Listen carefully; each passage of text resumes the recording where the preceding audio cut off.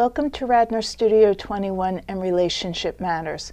This is Linda Hershman, licensed marriage and family therapist with the Couples and Family Wellness Center, providing counseling for individuals, families, adults, teens, and tweens. Today, my guest is Rabab Alma, licensed marriage and family therapist and Scream Free Parenting certified coach. Rabab, thank you so much for joining me today. Thank you for having me. My pleasure. Okay, Scream Free Parenting. Mm-hmm. When I read that, I thought, okay, this is brilliant because who would say, no, I'd rather just scream? So, could you tell me a little bit about Scream Free Parenting and how you got involved in it? Uh, well, that goes back, um, I would say, years back when I started actually studying psychology to start with. I had, uh, I found myself having conflicts or some communication gaps with my daughter. And I realized that I need to do something about it. I need to not repeat the patterns or the words or the actions that I used to dread. And I decided then to study psychology, specifically marriage and family therapy. Uh, Scream Free Parenting was extremely exciting and interesting for me because it actually enforces that idea of having the connection with your child and um, stay calm, connected, and keeping your cool at the same time. And they introduced that idea of the focus is actually parenting is about parents not the kids. Okay, that makes sense to me. But can you elaborate on that a little bit more for people for whom that might be a little bit of a new concept? So, we tend to emotionally react uh, when we deal with uh, various issues with our children. And those emotional reactivities can be screaming, yelling, even the silent treatment is an emotional reactivity, controlling, slander, you name it. So, Scream Free parenting is about self focus. Why do we emotionally react? It's actually because of our own anxiety. So, we need to work on ourselves to direct the focus on ourselves, to be able to be calm and cool and provide that calming presence in the family. And we talk, when we talk about uh, having being cool, is actually about uh, creating a space, holding a space for the self and for the children. Being calm and connected. So I'm calm, but still able to communicate and connect with my child. To me, that was a very interesting uh, concept. How can I be calm but still connected? So I, I, I dived into it, and it was fascinating to me the idea of focusing on the self to be able to control our own anxiety, our own reactivity, and create that safe environment. Focus on our react- reactions, what we say, what we do. Um, being able to, when we create a space, actually, we are holding um, uh, a space for the, our children to be free, to think for themselves. Because ultimately, we are, as parents, uh, responsible to our children, not for our children. Or, as I always say, our job as parents is to keep our kids safe, not to keep them happy. Exactly. Actually, it's also about um, creating the environment for them to be themselves, to be self directed themselves, to launch uh, adults, they are self directed, decisive, uh, responsible. But we are not responsible for their own choices. We cannot control them. We can only control our own emotions, behaviors, thoughts. So once we recognize that and we let go of that control and let them make their own choices, and also let them also bear the consequences instead of protecting them from the consequences. Okay, can I give a scenario here and hear a little bit more about how you would create this safe space in an actual situation? So, I will give you a very common complaint when I see uh, teens and their parents about the messy room, cleanliness. So, when we claim that we are giving the children their space or their room, are we really giving them their room? Do they feel that this is their space or we are acting as if as it's still ours? Well, that's a hot button topic. Yes. Yes.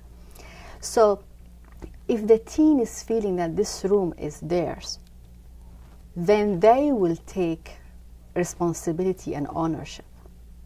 But when we are really uh, pushing them to clean and do, we are acting as if as it's our space, then they feel they are invaded. But then, where does one draw a line between giving a teen the freedom to keep the room messy and having it be a public health hazard? Yes. So, being cool and calm and connected does not mean that we are permissive and we are creating chaos. It also comes with building boundaries. And there's a hierarchy. So we are we need to take back our authority. So when I tell my child, for instance, don't make me angry, who has the power here? Actually, I am giving them the power. It's, I'm giving them my remote control of my emotions. Mm-hmm. So when I take that power back and I am in control and calm and focus on, our, my, on myself, on my reactions, my feelings, and let them have this freedom, but also they will need to bear the consequences without protecting them from the consequences. Let them struggle, although that can be very um, difficult for a parent to accept. You want me to let the child struggle? How? I think it's important to let them bear the consequences of what they are doing within these boundaries and within the system. I agree with what you're saying. I'm still curious, though, about where where the consequences are. So if a teenager has a messy room and has plates in the room and so on and so forth, they may not experience living in that environment as a consequence. And as a parent, suddenly I've got a consequence because I have no more dishes. They're all upstairs in my kid's room. So, where is that line? So, the line is when you, you give them choices. So, there is a freedom of choose, and you give them choices within your structure, within your system, within your authority as a parent. And you let them bear these consequences but you need to always we need always to keep our calm the issue is that sometimes we have this emotional reactivity and we yell we scream we give them the silent treatment and uh, then is it about us our anxiety what we are experiencing or is it about them to make a choice and when we set boundaries and consequences, we need to enforce bound uh, consequences that they are that you can endure yourself. Oh, absolutely. And you are able to enforce. I always think about when my son was young, one of my girlfriends who had kids my age, when her kids would start misbehaving, she would start out calm and say, okay, stop it, okay, stop it, okay, stop it. And then finally, she would just blow and scream, That's it, you're never watching television again. And I was a long way from becoming a licensed marriage and family therapist at that point, but I knew that that was not an effective way of parenting and that we teach other people how to treat us, we teach our children how to treat us. And Absolutely. she was teaching them that they could just keep testing her. She'd blow up and scream and then put out a consequence that couldn't possibly be enforced. So, what you're saying then, if I'm understanding, is in the case of the messy room with all the dishes, because I hear this a lot Yes. that it's not that you're not giving them permission to not clean their room because it's their space, but that there are consequences that will happen if they don't clean the room and it's their choice. Yes. And then, And we need to also understand that teens or children, they test us. They, they really? so glad I was sitting down. they always test us, and they know that at certain point, you know, they will keep pushing and pushing and pushing. Then no, she's gonna, she's gonna flip. They are waiting for you. Mm-hmm. They are waiting for that reaction. So They learn to read Yes. our point. Yes. Yes. And then it's up to us what kind of a lesson or what kind of uh, behavior or reaction we want to display for them. And uh, I think it's important if we want our kids to be launched as successful, self directed, uh, responsible, calm adults, we need to model that for them. And they will challenge that. And that's our own struggle, how we will react to that challenge. Okay, let me give you another scenario mm-hmm. because we've got teens here, and let's talk about young children for a moment. You are in the supermarket at the end of the day with your child. They're hungry, they're tired, they're cranky, and they start throwing a tantrum. Mm-hmm. Not that I would know anything about this. Yes, of course. Yes. How do you hold on to yourself and deal with your child who is unable to self regulate in that moment? So when they are doing that, sometimes we project that when they act out, it's like projection on us. Like we are thinking of how people are viewing me as a parent in public. Mm-hmm.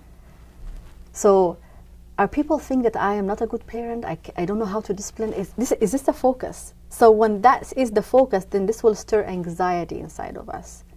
And we'll start to react. But when we focus on this is their reaction and this is separate from me, then I will act from a place of calmness and I will be able to manage it. Whether I leave the place, maybe they're hungry, I will take them to eat, whatever the decision is. But they see you, they see you as a parent and your facial expressions and how you are interacting with them and that will influence how they really for how long they're gonna do the tantrum uh, how they're gonna do it and if they see that you are not actually responding in a I would say the negative way, like you are not you are not giving them that negative attention, then they see it's not working. Mm-hmm. It's all about us focusing on how we want to present ourselves and how we view ourselves in front of our children. And I think the one thing that a lot of parents I see doing that they don't follow their promises on their promises. So when we say there are certain consequences, we need to follow through because this principle of scream free parenting is about integrity. It's about the process versus the content. It's about uh, what we want to do versus uh, the principle versus the results. So when we follow through the consequences, when they see us, when we have this integrity, then the children will learn from us. It seems like a lot of what this is about is recognizing that there is a place where you stop and your child starts, and there's a space in between that. Yes, there is this boundary. Yes. And that is particularly hard today, especially in the mainline area, which is so achievement oriented and where parents make their children their careers. You brought a good point, and this is one of the points I have here. So, we want to teach children that the world does not revolve al- around them. So, when we are evolving, we are just doing everything around the children, we forget about ourselves and we forget the focus. We need to let the children know that they are not the focus of the universe. So when we do, act- you see parents running around from activities from here yes. to there. They have no time for themselves. The marriage is suffering. The uh, there is no marital relationship. No, they are not having sex. They are not really having time for themselves and all the activities are actually orbiting around kids who are exhausted and anxious themselves. Yes. So now we will look at priorities. We want to first start with what we want to last. What is the first thing we want to we want it to last? First thing is our health. Okay. Second is our self-respect. Third, our marital uh, uh, uh, connection and uh, marriage, marriage, our marriage in general. Fourth, the kids. I'm hearing screams all up and down the main line as you say that. and yeah, I, it is yeah. a revolutionary, you know, idea. Yes. I, it's it's about putting priorities, setting priorities straight. When I cannot, we need to put our oxygen masks first on ourselves before putting it on someone else. And this is what they say when you enter, when you when you board on an airplane. Right. So if I am unable, when I imagine me yelling at the child and telling them, "Calm down," and I am myself is screaming, my actions are speaking louder than my words. But if I am collected and I am focused on myself, and how I want to present and be a parent and a person at the moment, then they will learn that from us. And where else can this concept be used? Because this is not just about engaging with your kids. Yes. Actually, this is the lifestyle. This is like once you apply that into your life as a parent, you can apply it everywhere because once you adapt this concept of uh, uh, calmness and connectedness, you're going to apply that on all your aspects of, of all life aspects with your spouse, children, career, with yourself first, with everyone around you. It becomes you wherever you go. So to to hold a space for yourself and others, to set the boundaries. And the boundaries is about uh, holding place and having your own integrity, having your own uh, uh, space where you can uh, practice freedom for you and allow others to also be free to make choices, including the children. Because again we are responsible for our to our children not for them. So when we give them when we set these boundaries and we let them make choices within the structure you are building so you foster that environment for them so they know what choices are available. So they are free to choose within the choices that you are set you set already within the structure and the hierarchy and the system you have within your family. And so on a much more meta level it's similar to when you're teaching children how to make choices about how to get dressed properly in the morning for the occasion and for the weather, and you might put three things out and say you can choose, choose. from one of these. But you're not saying let them go decide to put on a bathing suit and go to school It's not when it's cha- 20 degrees. Yes. No, it's Yes. not. It's not about chaos. Mm-hmm. It's about setting a structure and boundaries and give them choices within your authority and your uh, this executive system, if you will. The parents they need to claim their authority and power back. And once the child see that you are in control, this is what they need actually. Children, Yes. you know, they need structure. Children need structure They and they need boundaries. They need boundaries. Yes. And they really do. They cannot really, they, they cannot tell you, but this is what they need. Right. And they strive later on to actually to, to create their own territory. This is mine. This is what I. This is my room. And you let them do that. But before that, you have boundaries, structure in place. Right. Or in the case of the four year old with the tantrum in the supermarket, they need their parent to be able to recognize when they're starting to get overwhelmed and not wait until it's a big explosion and be able to handle it at an earlier point, which would allow it done to be done in a more calm way. So, f- with this example, to go to the supermarket, I might maybe if they're hungry, maybe I will not take them to supermarket first. I will, you know, uh, plan better, and this is part of the structure. So I will not take them to the supermarket when they get yeah, they're hungry. They get picking everything in the cart because they are hungry. They are, you know, acting out.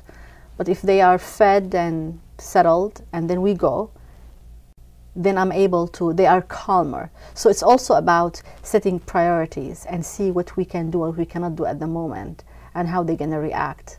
Sometimes we cannot, sometimes we don't have a choice. We have to do what we have to do. Mm-hmm. But still, it's about, and, and I think it's important also to be kind to ourselves to you know the self-directed the self-nurturing we need also they need to see that we are taking care of ourselves and not so judgmental about ourselves and they will learn that from us so start with an apology when we make a mistake because the only thing we can own is our mistakes mm-hmm. That's deep. Yeah. So when they see that we are owning our mistakes and we are ready to apologize, what they going to learn from that? They're going to learn self responsibility. Yes. Yes. So it, it's all about. So I think we will start with the end of my in mind. When, like uh, uh, Covey says, we start with the end result in mind. How do you picture your child to be? And you start planning. And I did that actually with my daughter. I um, I always wanted her to be successful. And I don't want her, I want her to make her own, I wanted her to make her own choices. She wanted to be in University of, uh, of Pennsylvania and she wanted to study uh, biomedical engineering. And I walked with her in the process, in the journey. So I am there to support, not to make decisions on her behalf. And the, el- the end results tell me that um, it works when it's really followed, when it's consistent. Consistency is a key. so- Right. And when you talk about that kind of support, now you are talking about somebody whose brain works in a certain way, who has certain kinds of intelligences, and of course, most parents would be thrilled that their child wants to study biomechanical, biomedical engineering at Penn. That also extends to, and if your child does not want to go to college but wants to learn a trade, to not get caught up in how this reflects on you as a parent and your status in the community, and to be able to really support who they are. Yes, we need to respect their choices. So when I mentioned about I want her to be successful and go, it was her choice that she wanted to be in that school. She wanted to study that. So I think it's important also to understand that this is their future. This is their uh, decision. They need to choose what works for them, not for us. So it's not for us to choose for them uh, what they have to study or what they need to study, what to need to do. They need to make that choice. We need to help them. We need to foster a, a positive environment for them to actually succeed and be self-directed and to be able to launch successfully and be responsible adults. And to understand your child's strengths and limitations and not try to strengthen the parts that really are yours and not Exactly. theirs. Yeah. Yes. Regrettably, we need to wrap up. yes. So many more things I could be asking you that I'm curious about here, but thank you so oh, much thank for talking about Scream Free parenting today. And Thank you for having thank you for joining Linda Hershman in Relationship Matters on Radnor Studio 21.